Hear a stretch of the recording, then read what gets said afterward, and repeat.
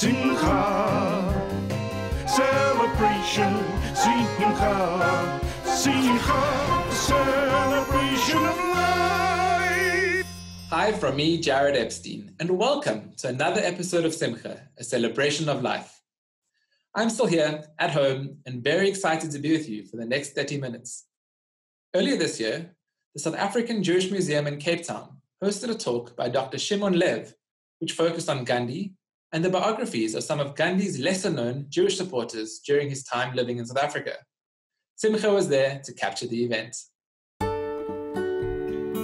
I'm not sure how many people are aware of that, but the formative years of Gandhi, all of them happened in South Africa. And it had a broader implication about what's the political effort later between the two national movements, the Zionist national movement and the Indian national movement, and also the question of the Holocaust, which was kind of deleting the name of Gandhi uh, from the Jewish discourse because what he said uh, about the Jews, how the Jews uh, should react to the German Nazism. Gandhi grew up in India. He went to study law in England, which was a very unique and it was against his caste rule. And when he finished, he came back to India and he was a complete failure. Nobody knew what to do with him at that time. The family invested a lot of money sending him to study in England. So he was sent to, to South Africa. And then he encountered the discrimination. And slowly, slowly, he became a very successful lawyer, but also the main voice or the main representation of the Indian community. In bottom line, the first non-violent struggle, and maybe the only one that partly was successful, happened here in South Africa. When he returned back to India in 1915, he slowly, slowly became like the national leader of the national movement to get independence from the British, which eventually they got in 47. So what is interesting, and what I think people should be aware here in South Africa, that all his development, all his formative years, everything that he did later on in India, you can find the roots here in South Africa. I divided it to um, who were the, the world of friends in South Africa. The first one, I would say, it's uh, Henry Polak. He was an English Jew. He was sent to India by Gandhi to lobby the Indian struggle here in South Africa. It was very successful. So in a way, you can describe him as the political person of Gandhi. And you can imagine the Indian sending an English Jew to India to work for the Indian uh, cause in South uh, Africa. But in the broader aspect, he's the first one to prepare Gandhi name when he's returning to South Africa. He was the first one to publish a book about Gandhi. His wife, uh, Millie Graham Polak, she wrote this book, Gandhi the Man. It's very nice because it's a private conversation with him. Uh, and then the other one is Herman Kallenbach. I, I won't speak about him long, but he was very dominant and successful architect. Uh, and, but you can say that he was the close person in terms of sharing with Gandhi his personal uh, dilemma, conflicts, experiments, and so on. He was less a public figure until the end of the struggle. Uh, they established together Tolstoy Farm, but Tolstoy Farm, it's not only just the experiment, simple life, and kind of the center of a satyagraha struggle, but it's, you can view it as the first time that Gandhi is acting as a leader or it's like the prototype of the future Gandhian ashram. And the Gandhian ashram is something that it's not like you sit in the mountain and you're doing meditation, it's kind of a social active ashram. And Tolstoy Farm, it's very, very important in this uh, respect. And they call themselves the pioneers and so on. And as I said, kibbutz, both of them were established in the same time, the first kibbutz, kibbutz Vanya, and it's, uh, you can view it in kind of influence of Tolstoy. There were other Tolstoyan, let's say, settlements. And Louis Ritch, which nothing was written about him, they were the three main supporters of Gandhi, and, and obviously Sonia Schlesin, his secretary, but she was much more the secretary. She was ahead of her time, a feminist. She was not accepted to the court because she was a woman at that time. I mean, and there was the law didn't consider to accepting women to be attorneys at that time. She was practicing uh, with Gandhi. You can see Kallenbach uh, near her.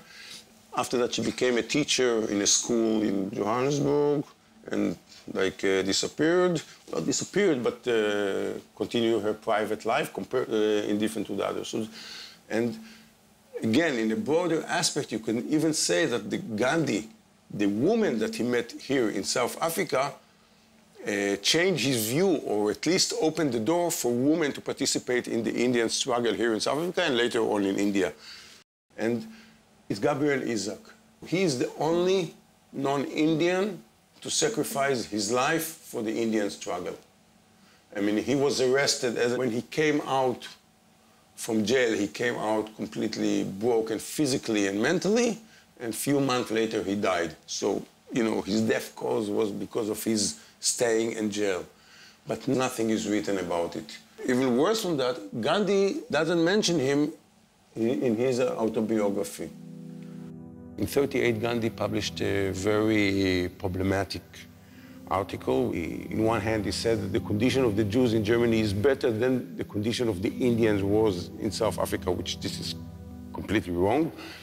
And the second thing, uh, he advised the Jews to offer satyagraha, like a non-violent struggle, and to be ready to be slaughtered by, by the million. Because the whole attitude of non-violent struggles, it's not to defeat your opponent, it's to change him. But there is, when there is no any contact, no any encounter, you cannot do anything. And this is probably why he kept quiet, because he was mistaken in the understanding of the extreme evilness of the Nazis. And this was really uh, kind of the end for a long time of looking at Gandhi as a unique person. And so, so in a way, in the Jewish and the Zionist discourse, Gandhi's name was deleted. Even some people consider him to be anti-Semitic, which this is completely wrong. You know, when I did my PhD, I said jokingly that the only thing I really learned that also clever people write nonsenses. so, you know, you cannot judge only by some nonsenses that somebody wrote.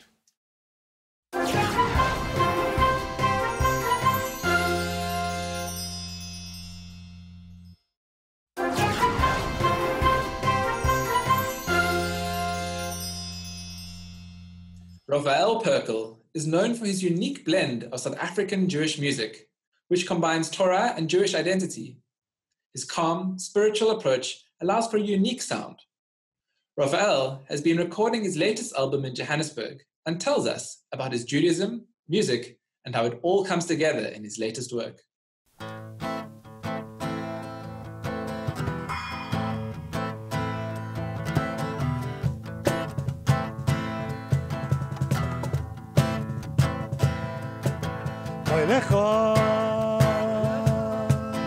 I developed a passion for music really uh, from the word go.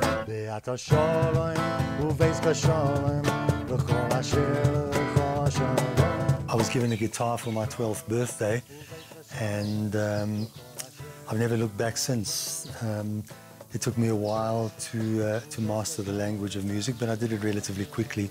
I took some lessons in guitar for a year from a local teacher, um, and I, I, spent a lot of time just in investigating and learning the technical language of music. And uh, so over the years, in my high school years, I, I participated in uh, rock and roll bands in those days. Um, after that, I became uh, involved in my Jewish identity at the age of 27, and my musical passion and my musical talents became directed towards expressing that aspect of my life.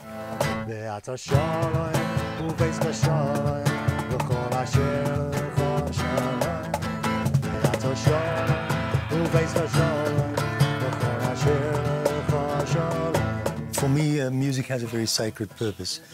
Uh, I mean, music can be put to many different purposes, and many people do put it to different purposes, which are not necessarily spiritual at all. But for me, I think the central purpose and the value of music and the, the inherent core quality within music is really a deeply spiritual one. To quote the Baal HaTanya, one of the, uh, the, the, most important authors of Hasidic wisdom, um, if words are the pen of the heart, we can all understand what that means then music is the pen of the soul.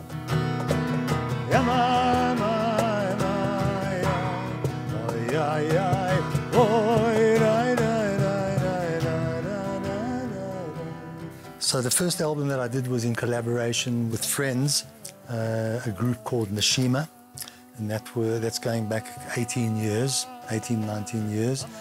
We did an, an album of original music, uh, including some sacred melodies uh, from the Hasidic tradition, as well as um, some Shlomo Carlebach melodies, and that's been my trend since uh, since then. My second album was uh, a few years after that. It's going back to 2006, 2007, and that was a solo album using session musicians where I followed the same kind of pattern, uh, original songs of my own, um, combined with some tracks of Hasidic Nigunim and uh, one or two Carlebach melodies as well.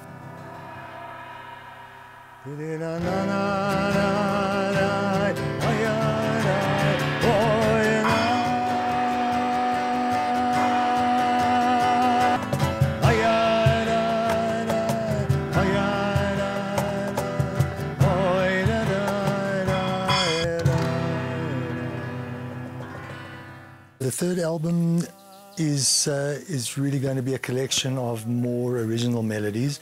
I think that my songwriting is now um, reaching a more sophisticated level than ever before.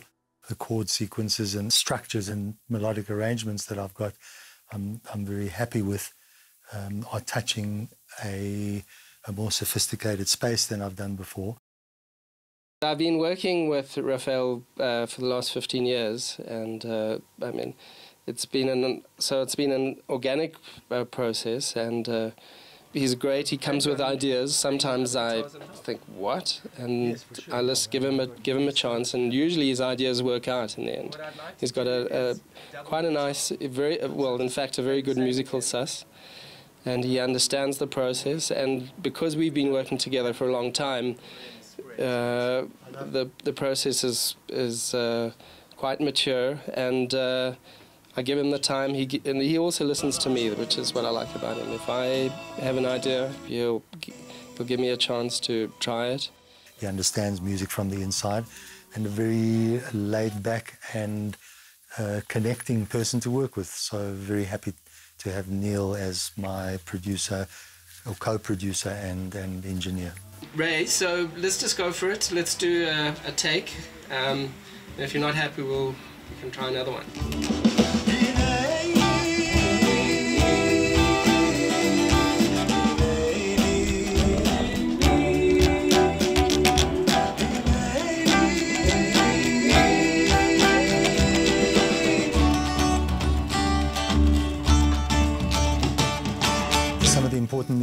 That I, have been working with in the studio on, on my new album um, are uh, Peter Sclair on bass.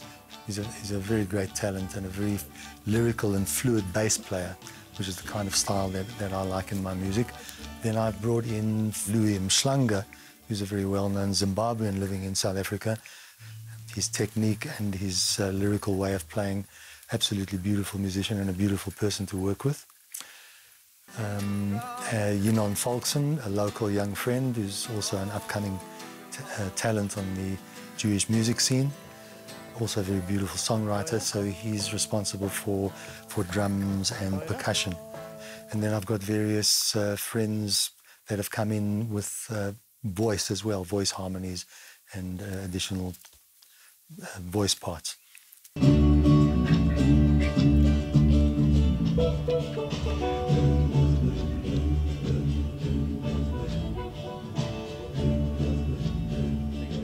South African Jewish music, in one sense, doesn't have any major difference from Jewish music anywhere.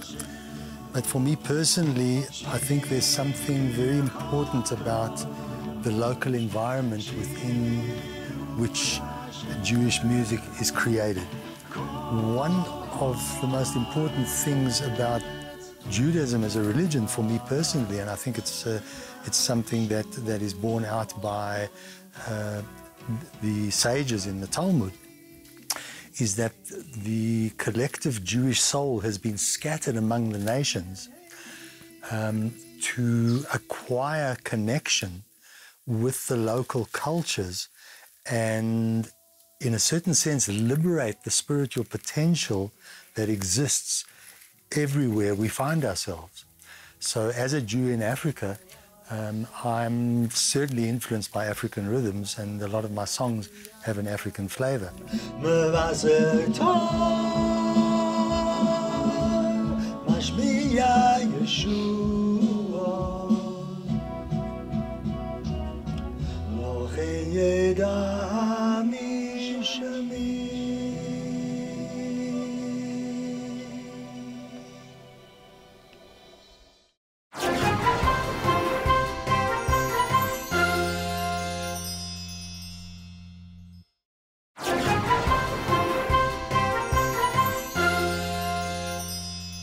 Last month, we launched a new series called Pirkei Avot for Today with South Africa's Chief Rabbi, Warren Goldstein. Today, Rabbi Goldstein looks at peace and how to create it in all our relationships.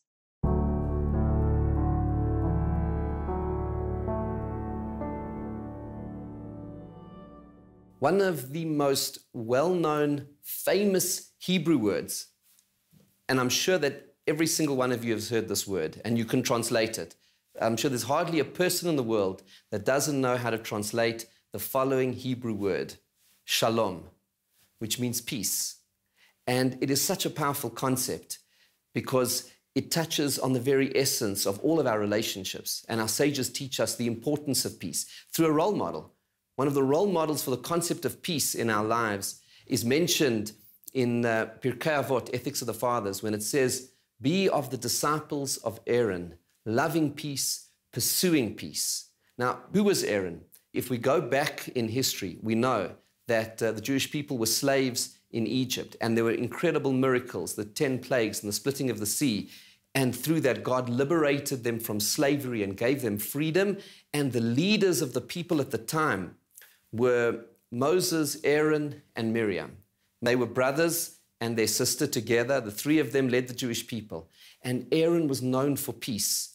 Our sages explain how he would run between people, proactively creating peace between them. That if there were two people where there was tension and conflict, he would go to the one party and to the other and he would bring them together. He was a proactive bringer of peace into the world. And that's why what the statement of our sages it says love peace and pursue peace peace is not going to come naturally in fact our commentators explain that the natural state of human affairs is conflict isn't that an interesting thing? Sometimes we think if something's natural, well, it just must be good. But actually, human beings, we are all created, and this is what the Maharal, one of our great philosophers, explains. He says the roots of human conflict is the greatness of every human being because God created us in his image. He placed within each and every single one of us a godly soul. And that godly soul is a reflection of the greatness of God, and therefore we have within us sovereignty and majesty. And he says conflict comes when you have two sovereigns clashing. There's a sense of who you to tell me what to do, and why should I tell you what to do? And then this is mine and this is yours. Conflict emerges from that sense of independence. But the fact that conflict is natural doesn't make it good. In fact, our sages are teaching us that one of the most important values of Judaism is peace. And it's not going to come naturally. We have to pursue it with energy and with innovation and a real sense of trying to make the world into a better place. And think about all of the relationships in our lives. We, you know, we, we, we like to sometimes think, well, there's peace, it's world peace. But what can you and I do about world peace? That's not something we can influence the direction of nations, even on this continent or around the world, but where we can bring peace is in our own families and in our own communities and amongst our friends. When, when there is a sense of resentment or a sense of anger, we need to work proactively to nurture peace in all of the relationships around us. That is something which is so vital. But there's another dimension of peace which is so very powerful. You know that one of God's names, according to the Talmud, is shalom, peace. Why is God's name shalom? And uh, the Maharal explains, he says, because we live in a world where there seem to be so many disparate forces in the physical universe and, and the entirety of the universe a sense of day and night, light and darkness, summer and winter, forces pulling in different directions. What is it that holds the universe together? It is God who holds everything together. And He is the force of unity. And that force of unity, that force, that sense of coherence, of holding everything together, that is shalom. That is what peace is. Because actually, the deeper meaning of the concept of peace is actually harmony. What happens in, in a beautiful piece of music? You have different elements of the music. What turns it into music? What makes it into a harmony is the fact that it is blended together to create the most magnificent experience. And that is actually the force of unity that holds the universe together. Who is that? That is God. God holds this universe together. He holds everything together, that force of shalom that brings everything together. But it even goes one step further. He gave us a way of holding and creating peace in our lives. He revealed to us the way we can live, and He gives us a way of living which brings wholeness to our lives, that integrates body and soul and emotions and intellect and family and community, that wholeness where we live an integrated whole life. So the concept of peace is very deep and very profound when we are called upon to bring peace into the world. It is about bringing peace into the relationships around us, it is about bringing peace into our families, into our communities but it is also about living within a peace. And that inner peace means connecting to shalom, to God Himself. He's the source of peace in the world. If we want to live within a peace, and if we want our lives to be lives of harmony and coherence, and a life of integrated wholeness, where every dimension of who we are physical and spiritual, emotional and intellectual, family and individual and community, all of the different elements, if we want to live in harmony with ourselves and in harmony with our souls, then we need to live in harmony with God, the source of all peace, the source of all shalom.